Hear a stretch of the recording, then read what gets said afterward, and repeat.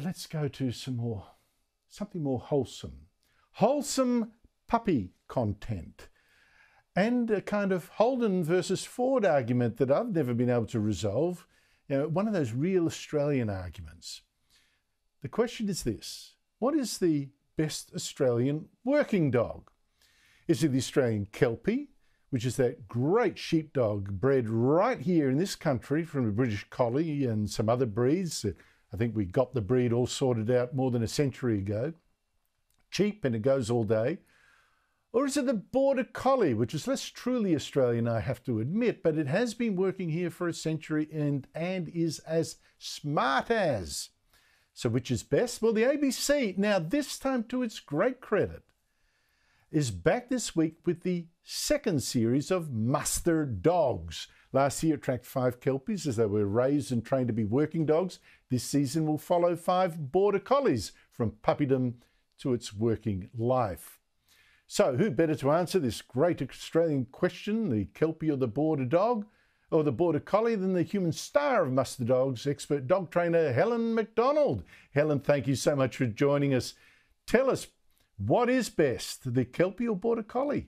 Many farmers are watching right now, waiting Thank you for having me on. Um, at the end of the day, it's a personal preference, but we don't want to look at it as a Kelpie versus Border, border Collie. We, we want to be able to emphasise the dog that most suits your needs with your livestock operation at home. So we've got to be looking at the certain working traits, the personality, whether it's a, a got a very furry coat or a short coat for grass seed situations. Um, so there's a lot of things that aspects and working traits that we need to look at when we're um, got an operation with either sheep or cattle. So at the end of the day, if you have a dog that's calmer and it educates your livestock, you and you don't like to yell at a dog, well, a perhaps a um, collie might suit you, but then there are kelpies with uh, family lines that are very calm and do that same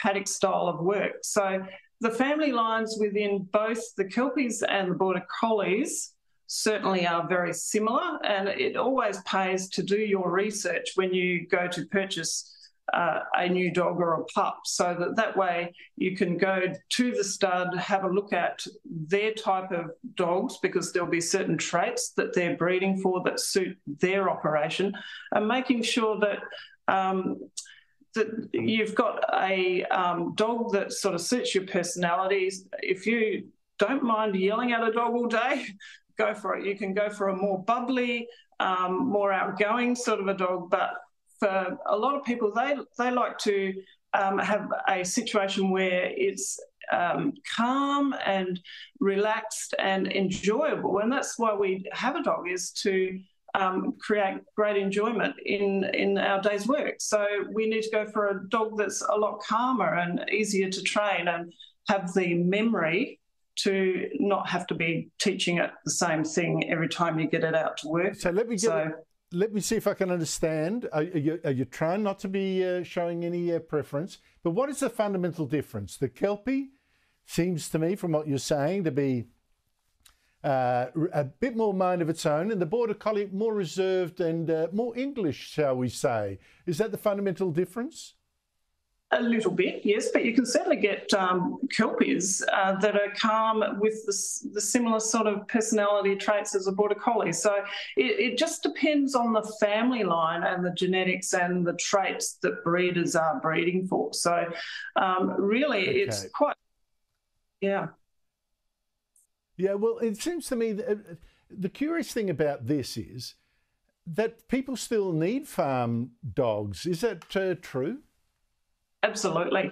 And the labour shortages in Australia are extremely concerning. We've got to look at the average age of farmers in their 60s. So we've got to prepare a young workforce for in 10 years' time. So when we've got a big percentage of farmers looking to retire or at least slow down their work, um, work lifestyle. So um, we, we've got to encourage young people to come into the industry Dogs are fantastic for edu educating your livestock to be calmer, are more cooperative and that way they are easier to work and that, then you don't need those more boisterous dogs to work your livestock if you've got them educated because they want to flow through yards and they want to flow through gateways um, you can get away with a more settled, easier dog to work. So that that's we've just got to look at our situation. Um, but dogs are great for people's mental health. Um, for some people, they are doing a lot of work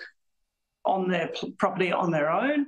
And dogs are fantastic company, and it's um, some support from the dog, uh, just just their um, ability to be able to read the play, and they, they know when you're having a, a, tough day and a sad day, they sort of sidle up and have a bit of a cuddle with you, and all that's so important for our oh, mental oh, my health. My dog does. Oh, my dog does exactly the same, but uh, wouldn't know what to do with the sheep in fact, he uh, just stared at a possum that walked through our uh, back door, didn't uh, raise a, hackle. So the dogs, right? I think these uh, working farm dogs are just marvellous. Helen McDonald, thank you so much indeed for your time. Really appreciate it. But I still think we're no closer to answering it than uh, we were in the Ford versus Holden debate either, were we? There you go. I think the, the Kelpie is more Aussie, the Border Collie, probably more if you like your cup of tea.